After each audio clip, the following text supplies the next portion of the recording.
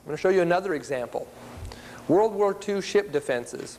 As our ships sailed around the open ocean, they're vulnerable to four different kinds of attack. The first is shells from other ships. The second is bombs from aircraft. The third is torpedoes from submarines. And the fourth is mines. And as they sailed around in the sea, we started measuring how much damage was being done to our planes from each one of these different, done to our ships from each one of these different uh, weapon types. And we found that there was a certain damage in the form of casualties, human loss of life, under one of these attacks, and a certain amount of damage where the ship would have to go into a repair bay and be fixed up before it could go back on a mission again. And as they studied these numbers, they said the numbers are all pretty healthy, but if you look at the damage due to shells and the damage due to mines, it's minimal compared to the other two. So we're going to focus on the other two.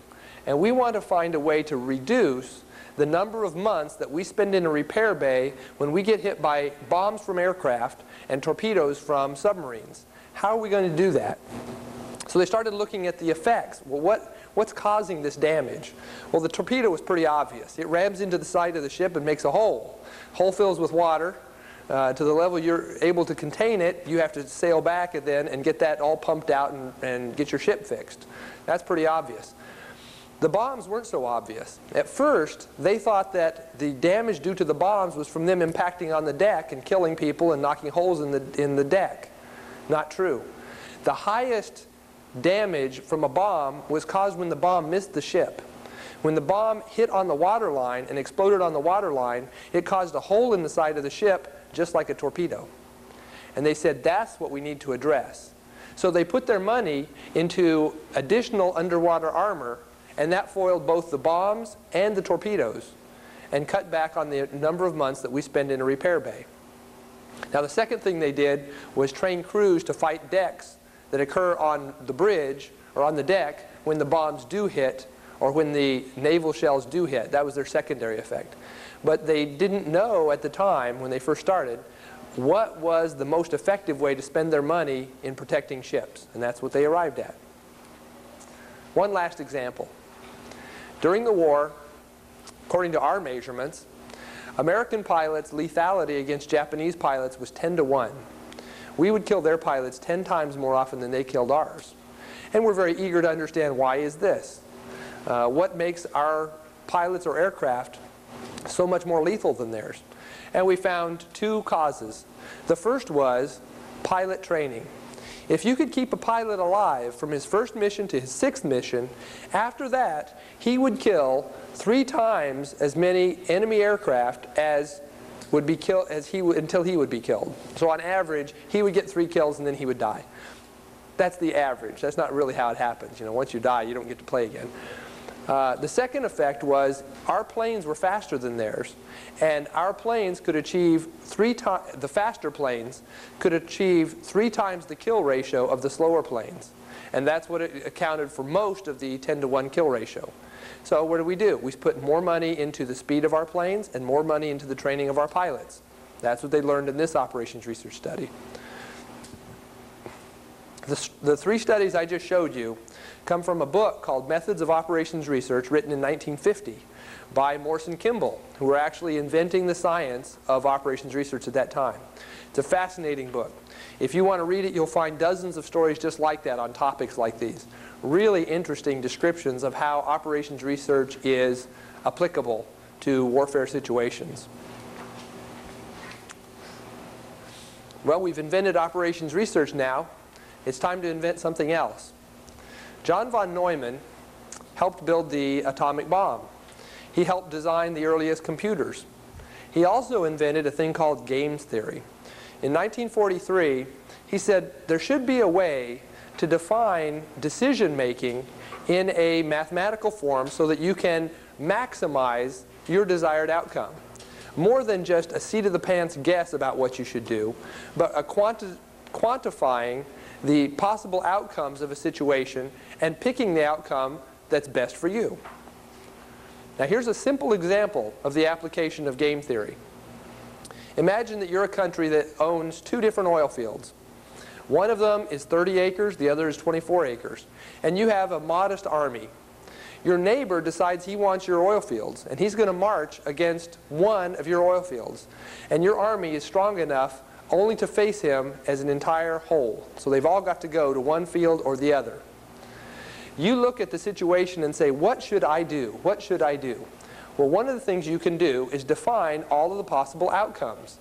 And the possible outcomes from the blue perspective are that you can end up with 39 acres of controlled oil field, or 30, or 24, or 42. Well, how do you arrive at those numbers?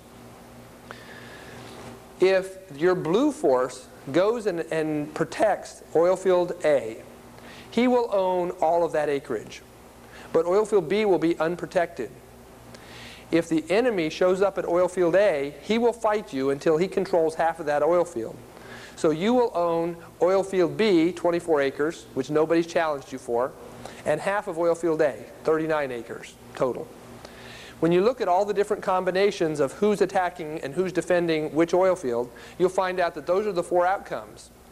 And you'll look at that, and from the defender's point of view, the blue point of view, you'll say, obviously, what I want to happen is I want to meet him at oil field B, A or at oil field B. That's what happens best for me. The worst thing that can happen for me is for me to defend the wrong oil field and he gets all of one of them. That's the worst thing. So, if you think you're the only logical person on the battlefield, you march off and defend oil field A. And you wait for him to show up and attack you. However, if the red side is also a, of a scientific mind, he'll draw his own matrix and he'll say, you know, the best thing for me is to go where he's not going to be. I don't want to get into a battle with him. I want to take all of either oil field. So you're thinking exactly opposite of the defender. Now you go into the, well, I think he's going to. Well, no, I think you're going to. But then he'll know that I did this, but then I'll know that he does this. And at some point you have to decide, what is he going to do? And you choose your decision based on what he's going to do. That's what game theory is. The example I just showed you is a very simple example. It's a simple example known as general two-person zero-sum game. That means there's two players, and for every acre lost by me, it's gained by you. Nothing falls through the cracks. There are other forms of game theory known as utility theory, two-person non-zero-sum games, and n-person games, which bring in the idea of cooperation and by cooperating, two forces may be able to accomplish more than if they fought together. That was the birth of game theory, right around 1943. A friend of uh, John von Neumann's was Stanislaw Ulam. He also worked on the nuclear weapons at the Manhattan Project and apparently he got bored around 1949 and started thinking up a new theory. And his theory was called the Monte Carlo method. In the conduct of analysis on the Manhattan Project, they were in the practice of building very exact mathematical equations of the behavior of atomic particles, of phys physical phenomena. And they were always searching for an algorithm that described exactly what did happen well, along the way, after these guys emerged, they said perhaps there are some behaviors which are so difficult to characterize mathematically that there'd be a better way to approach the problem. Perhaps we could describe them statistically. We could say that on this particular engagement or this particular event, I don't know exactly how it's going to come out, but I know statistically over multiple runs what that curve is going to look like. So if I could find out what that statistical distribution is, I could run a simulation and randomly select one outcome, run it again and again and again, run it multiple times, and the behavior of all of these statistical distributions interacting with each other would shake out the behavior of the whole system. And so they found a way to use random numbers and statistical distributions in place of exact mathematical algorithms for every decision. That's Monte Carlo theory. Well, Stanislaw Ulam rushed over and told John von Neumann, who being a great entrepreneur said, that's a brilliant idea. And not only am I brilliant, but I can sell stuff. And he went out and explained this again and again to the military until he got a lot of the credit for inventing it. But he's the one that popularized Monte Carlo theory for studying military phenomena and physical phenomena. I'm going to show you one more algorithm. It's called the Lagrange multiplier method. If somebody gives you an equation and says, I want you to maximize this equation, like that oil field, maximize the number of uh, acres you'll control, maximize the attrition against the enemy, maximize your, your fuel efficiency. I want you to maximize this thing. And all I can tell you is a few of the conditions which must be imposed on this. You know, your tank, fuel tanks are only so big, uh, you only have so many forces to divide into three different battlefields, et cetera, et cetera. Your method of solving that problem can be one of three. The first is to guess, to say, ah, seat of the pants, I think this is the best decision. The second is for you to run through every combination of variables until you find the one that maximizes the equation. That one might take a long time. And the third is to use techniques like the Lagrange multiplier method. And one example of that would be a simple mathematical equation. Maximize x times y given that x plus y minus 10, or x plus y, has to equal 10. Now some of you have already taken a math class and you go, I know what the answer is already. We did this in math class. Well, the Lagrange multiplier method says the first thing you do is create a Lagrange function. A Lagrange function is simple.